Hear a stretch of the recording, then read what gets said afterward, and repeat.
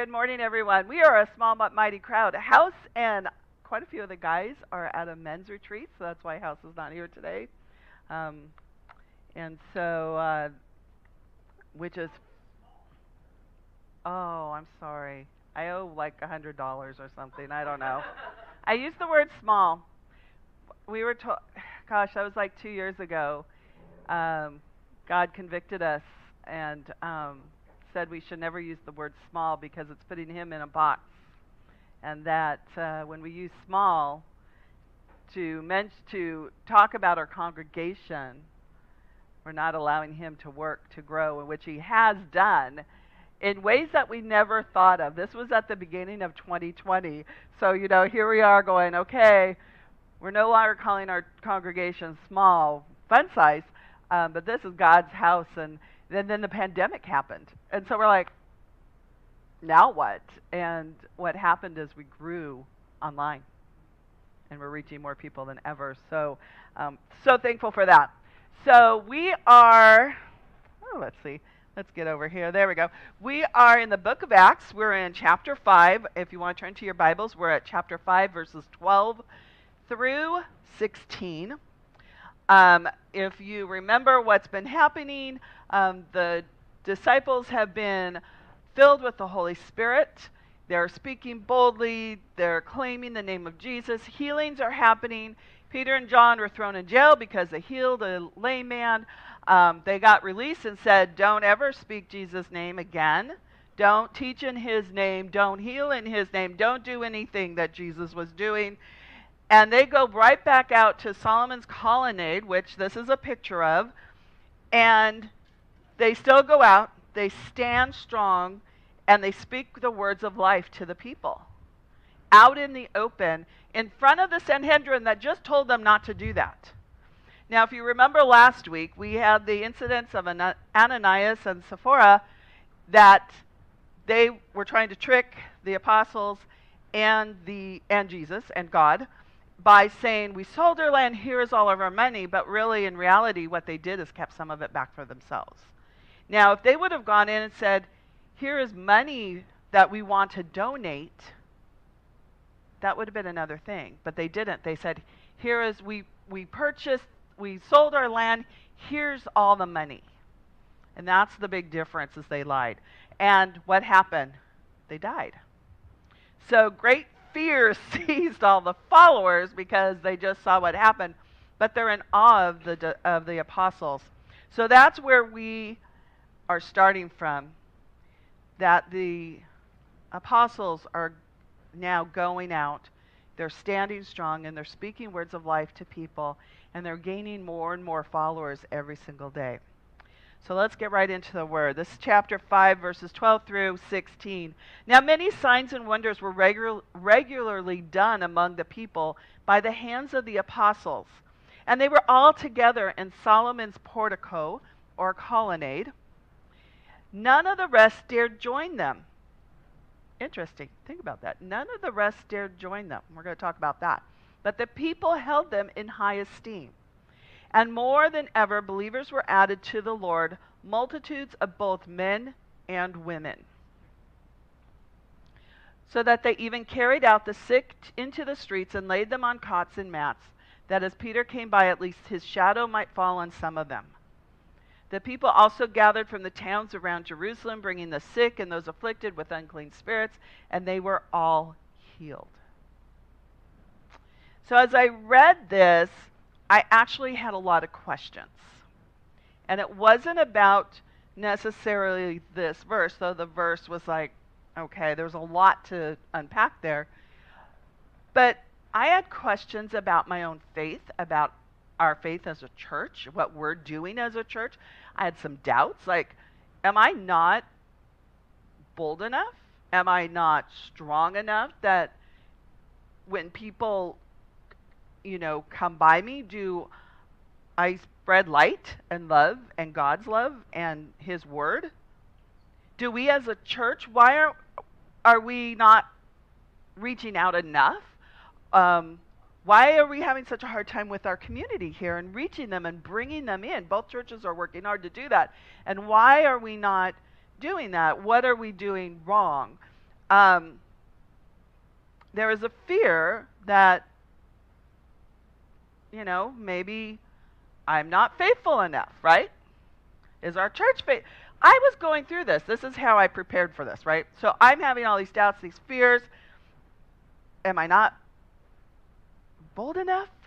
But there is hope too.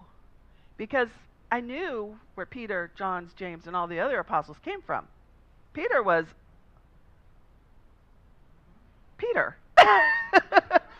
I mean, this was the guy that denied Christ three times. This was the guy that um, that Jesus said, "Satan, get behind me." Um, this was the guy that, you know, just cut off the servant's ear. This is the guy that just kind of was impetuous and did things that came to his, you know, spoke and did things that came to his mind. So my hope is, if Peter can become this bold, powerful speaker and apostle for Christ, so can I. So can you. So can our church. And if they're doing all these things, we can do them too. And so then I started kind of having that hope that I listed there. It's like, oh, okay, there's there's hope for us yet. And so I want to concentrate on verses 12 and 13. Now many signs and wonders were regularly done among the people by the hands of the apostles apostles, and they were all together in Solomon's portico. portico. But here's, the, here's that line again none of the rest dared join them, but the people held them in high esteem. So I want to cons- really kind of condense, get into that. But first, have you noticed that the disciples have now been called apostles? There was a switch. All of a sudden, the disciples are now apostles. So why, what's the difference? We're all disciples. Disciples are learners, they're pupils, they're followers, they're believers. That's a disciple. We're all disciples. Apostles are the ones that are called and sent. So, where all apostles are disciples, not all disciples are apostles. And so, when we look at that, they have this now the apostle the apostles the apostles are the teachers, where Jesus, when he was on earth, was the disciples' teacher, right? So they were the students. Now they're the ones that are being called to go and to spread Christ's love, light, and word. And so now they have all these followers, and they keep getting more and more followers every single day. Some of them will actually turn into apostles. And I believe that all of us should be apostles. We'll get into that later. But this line, none of the rest dared join them. Kim and I actually had a little text conversation on this yesterday, and um, because that was the that was the line that stuck out. None of the rest dared join them. So what does that mean? Well, they were following them. They held them in high esteem. They they um, respected them. They were in awe of what the apostles were doing. But they were afraid. What had just happened? What did we learn about last week? Two died. Right? And Ananias and Sapphira, they died. So now these disciples are like, what if we do something wrong? What if we say the wrong thing? What if we do the wrong thing? We don't want to be in trouble and die like Ananias. But what's happening now is God's showing where God showed his judgment, now he's showing his grace and mercy and bringing more and more people in and healing the sick. Right? But they're not getting that yet. Not yet. So none of them dared join them. Dared, talmeo in the Greek, is to be bold enough not to dread through fear or deal boldly. So they were not, none of the rest dared. They were not ready to be bold. They were not ready to deal boldly or speak boldly or act boldly. And they were afraid, right? Not to dread through fear. They were still dreading through fear what could happen because they were just new disciples. They hadn't learned enough, they hadn't experienced enough, they hadn't been following long enough. And that's okay. When all of us first became believers, think about when you first became a believer. What did you do? I can tell you what I did. We were in this big church at Grace, our mother church, Grace. I sat in the very back pew by the door. My sister in law and I did. And we'd come in just as before the service started, sit down, went through the service, and bolted. That was our church service. And then after we'd been going for a while, my sister in law said, maybe we should join a Bible study. Bible study. I had never been to church before this. I did not grow up in the church. My sister in law did. I had never, I mean, I got to that church and was reading the Bible for the first time. I'd seen, but don't get me wrong, I'd seen Bibles, I knew about God, but I'd never been to church. And I'm like, okay, let's do it. And so we did, and a lot of you will know, Sal, uh, will remember Sally and Dale. They were our Bible teachers. And so Sunday mornings we'd get there, we'd do our Bible study, and then we'd go to church. And so it was baby steps. Now, another thing I did, um, BSF is Bible Study Fellowship. It's an international Bible study. And when you fill it out, they ask you kind of where you are in your learning. And the first time I went, new, you know, beginner, baby Christian. That's what I wrote. After five years of Bible study fellowship, the leader who I'd gotten to know came up to me and she says, Do you really think you're a baby Christian? Because I kept filling out baby Christian because I didn't think I knew anything. And she goes, We've wanted you in leadership since, you know, your second year. I don't think you're a baby Christian anymore, so you need to stop and you need to fess up and put the right thing down. And she changed my form for me. And so I'm like, thanks, Lucy. and um, and so I started thinking, you know, I probably not a baby Christian anymore. I've been a Christian now for at least seven years. I should have learned something. But I was still afraid. I was still afraid. I had this, none of the rest dared join them because I didn't think I was good enough. I didn't think I knew enough. I didn't think I could um, really, truly be God's servant. And that changed very quickly after I started doing some prayer with Joe Johnson and and stuff. So none of the rest dared join them because they were fearful. And I think we do the same thing. You know, we go to church on Sundays. Like I said, I went to, to my, our mother church, Grace, sat in the back because it was a safe place to be. But then I left. And I didn't really do anything. And so here we are, we have our nice little churches. And sometimes when we leave, that's all we do. We, are here, then we go and we go on with our lives. Instead of being out in Solomon's colonnade, out in the open. The, the apostles, I got to remember, they now are apostles. The apostles went out to the colonnade after the Sanhedrin told them not to speak in Jesus' name, not to heal in Jesus' name. Why did they go out in the open? So nothing was hidden. There was no slander that could happen, right? Nothing could be hidden. They were doing it out in the light. I think churches get in trouble when we do everything in our buildings and we don't show it to the world. Think about some of the big churches that have gotten in trouble. What happened? The pastors, the leadership, they do everything in secret. They do everything in the building. And eventually it get caught, gets caught up to you. I think our team is probably one of the most transparent teams we I've ever seen. I mean, we tell you guys all of our flaws and mistakes. We tell you what's going on. We do not, there is nothing hidden from you guys. Our trustees are very open, and we have honest discussions. And so we're good at that. But are we good when we really go out into the world, into the marketplace? So is it, oh, we should only be in Solomon's colonnade? No, it's not either or, it's both. Why is it both? Well, we need a church. That's our home base. This is where we have fellowship. This is where we um, get fed. I mean, we get fed physically here, but hopefully you're getting fed spiritually. That's more important. But we do get fed fed physically too. But spiritually we get fed. This is where we come to get encouraged. How many of you walk through those doors having just a rough week, a rough day, a rough morning?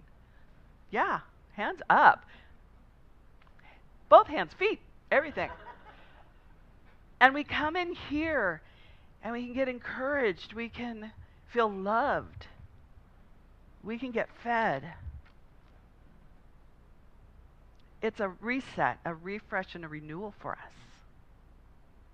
It's a refuge. When the world is beating us up, we come back here to our refuge every Sunday. That's why it's so important to come into the into the building so we can experience all this. So that then we can go back out into the colonnade.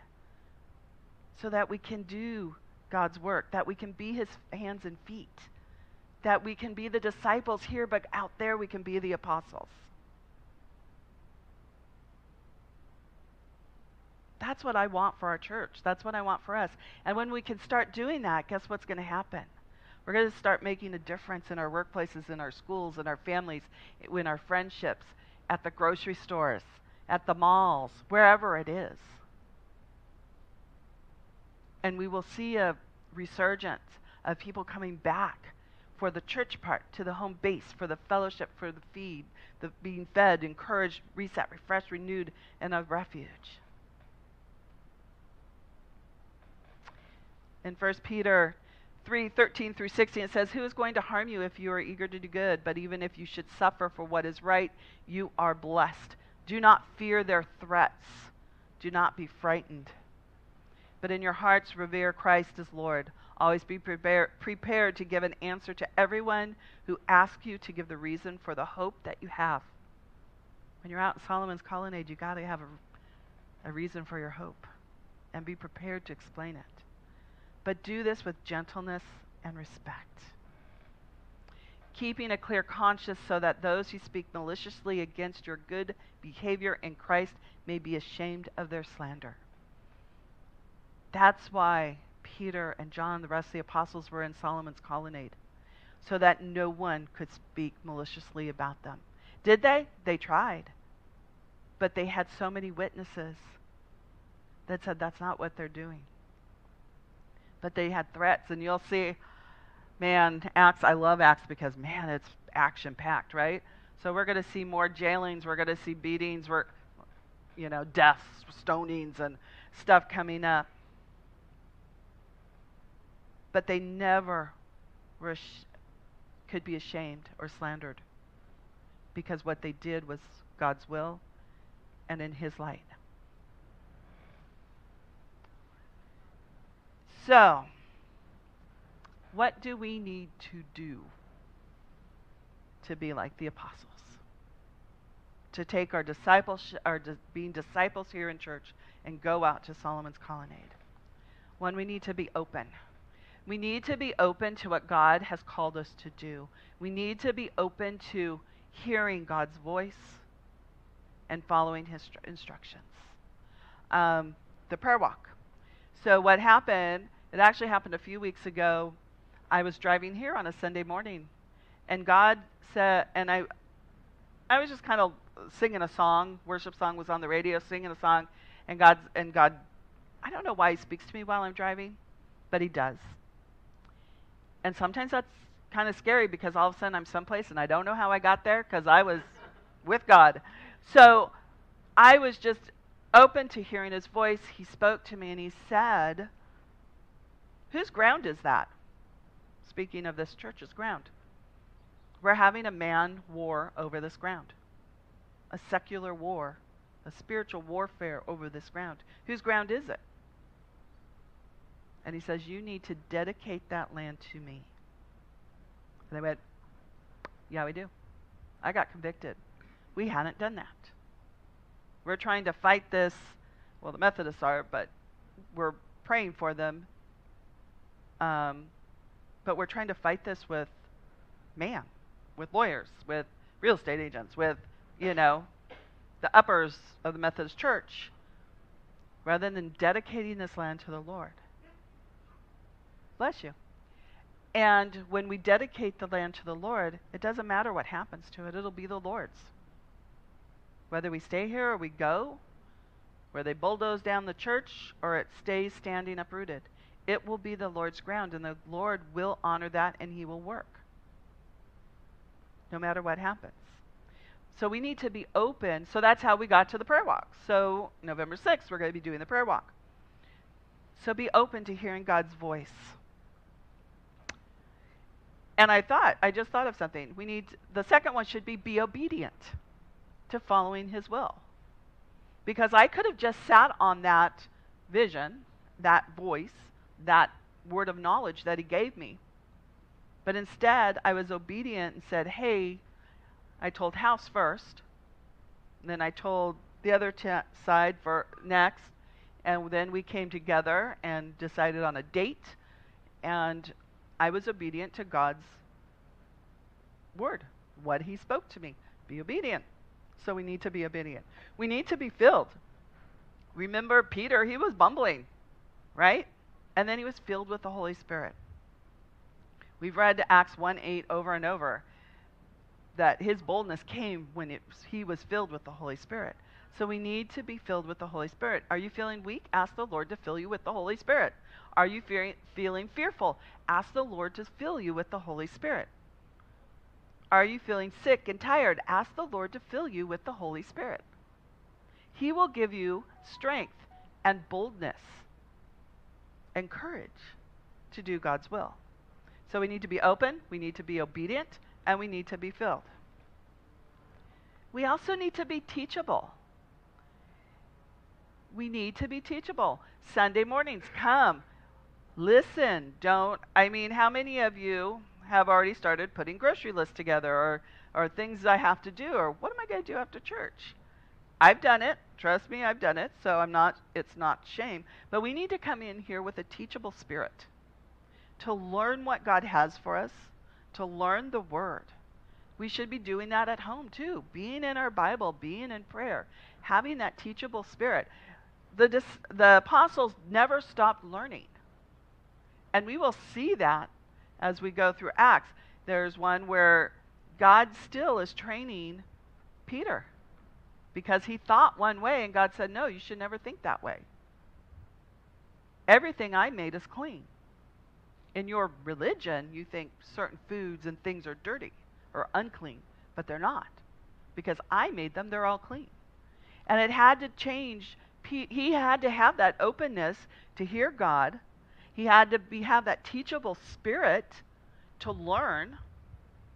And then he had to be obedient to go and do what God had told him because God, we'll read it later, but God um, told him to go into the Gentiles' house wrong thing to do, but he did it because God told him to. And God taught him that Gentiles are made in God's image too. And they are not unclean, just like you and I. We're not unclean. We are made in God's image. Have a teachable spirit. Be willing. Be willing to do the hard stuff. Be willing to go out into Solomon's colonnade and speak God's love and light. His mercy, His grace, His healing, His comfort, His peace.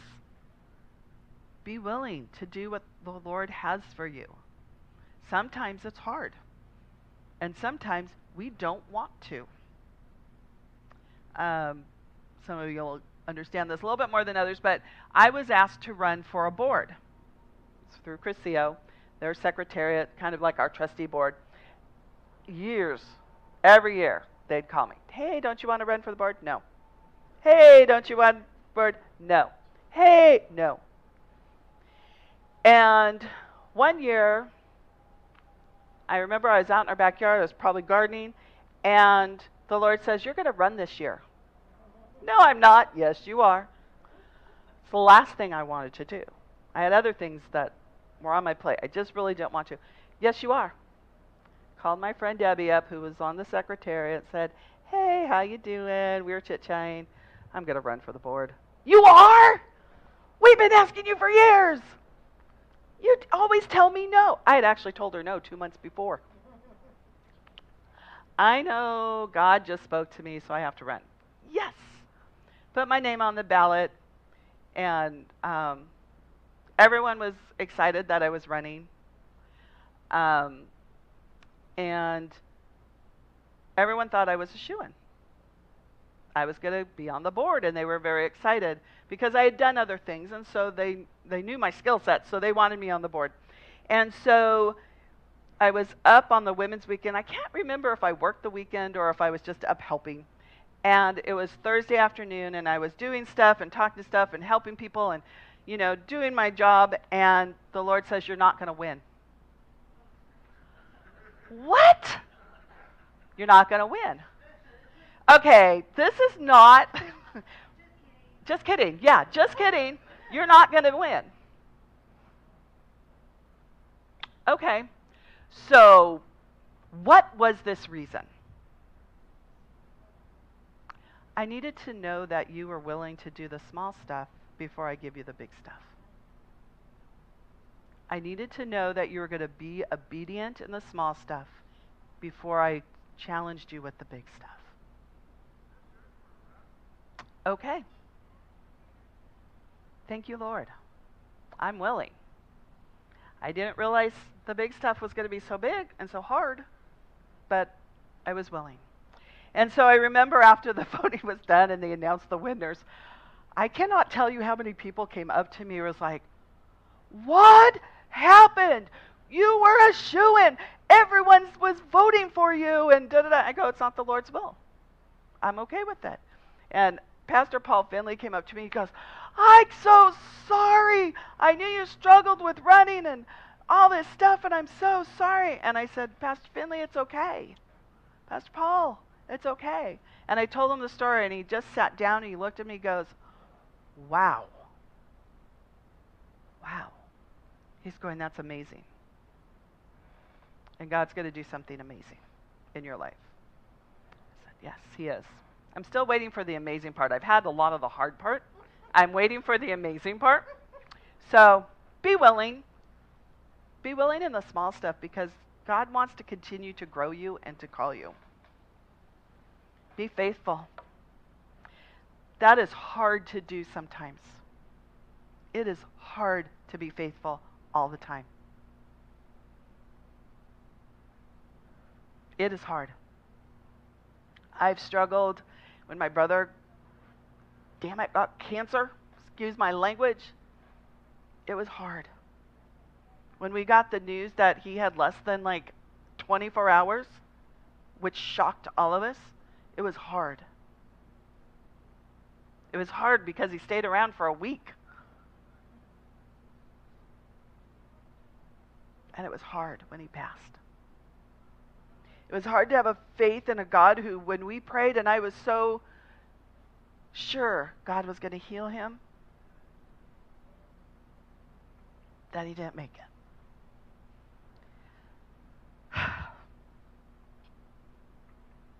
And we're going through that right now with another young man who I've known since he was little. Same disease as my brother.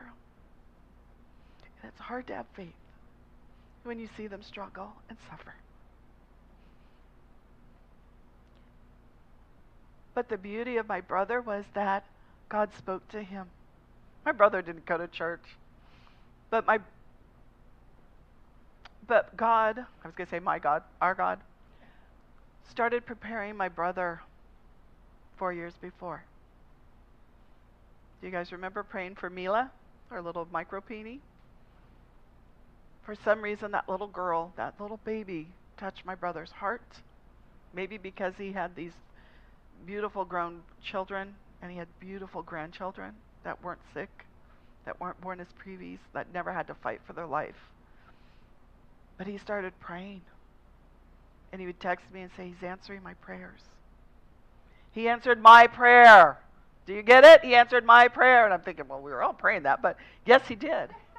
But he answered my prayer. That's what he kept telling me. My prayer. Because he always said if he walked into church, a lightning bolt would hit him. And I said, Yeah, even a sinner like you, Gary, God will listen to you. We had that type of relationship. I could talk to him. He knew what I was meaning. And because we knew that and we knew where my brother was ending up, and he was ready to go home. we were able to have faith. Faith to continue praying, faith to continue going on. Doesn't mean that it was easy. And it doesn't mean that there will be times that our faith will take a hit. But we still remain faithful. Because in God, all things work out. They're new every morning. And we have faith. And at my brother's um, service, was another thing be willing and be faithful. God told me to speak at my brother's service. And I put it off for a week, hoping that somebody else would step up, and no one did. So I had to call my sister in law and say, Hey, God told me. She goes, Oh, good. I'm so glad. And so I got to share my brother's faith to all of his friends. And some came up to me and said, We're so happy to hear that because we didn't know. We didn't know where he was in his faith. We didn't know if he even loved God. He did. He believed, he had faith. God spoke to him, and he was home. Be faithful. Be humble. We're not that great, people. I'm just going to tell you that. But God is. God is our strength. Holy Spirit is our counselor. He gives us the boldness and the courage to do what we need to do. But we need to be humble in all we do. I love the apostles because they gave all glory to God. They didn't say, Look, I healed these people. No, God did. So be humble. And last, be bold. In those scary times, we need to be bold. Ask the Holy Spirit to fill you, He'll give you that boldness. And we need to be bold when we speak. If you think I'm bold here today talking, it's not me. That's the work of the Holy Spirit. I had a kind of a crazy morning. I was talking with some people from the Methodist Church you know, I spoke over there for, or taught over there for four four weeks, so they very comfortable with me sharing uh, all their stuff. But when before you come to talk and teach, that's not what you want to hear. so Linda and I went over and we just prayed, prayed for an infilling of the Holy Spirit, a calming of my spirit, and then we came and worshipped. Truly, that. I told Kim yesterday when I found out the songs that she picked, I'm like, those are great songs. And it helped me to connect with God a little bit more so that I could be bold and stand up here and speak. He helps me be bold when I go out there and speak. So we need to be bold. In John 14, 12, truly, truly, I say to you, whoever believes in me and also do the works that I do, and greater work than these will he do because I am going to the Father. The apostles were doing greater works than Jesus because they believed and because they trusted what in Jesus promises.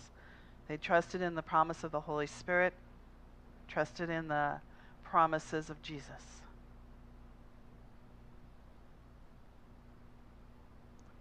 Whoever believes will in me will also do the works that I do. If you believe, you shouldn't be just sitting here as disciples, but going out as apostles. You could ask the praise team to come on up. Go stand and speak the words of life. This is our Solomon's colonnade, right? People in our communities, and this is a mall, in our malls, in our open spaces, in our families, our schools, our jobs, our communities. With the help of the Holy Spirit, the filling of the Holy Spirit, God will send us to become apostles so that we can go, that we can stand and speak the words of life to people. When we start doing that as a church body, the people will then come in here to be filled So then we can send them out to go and stand and speak. That's how it works. That's what our calling is. Yes, in here we're disciples, but out there we need to be apostles, doing God's will. If you don't know what that is in your life, just ask. And He's going to let you know. So go, stand, and speak the words of life.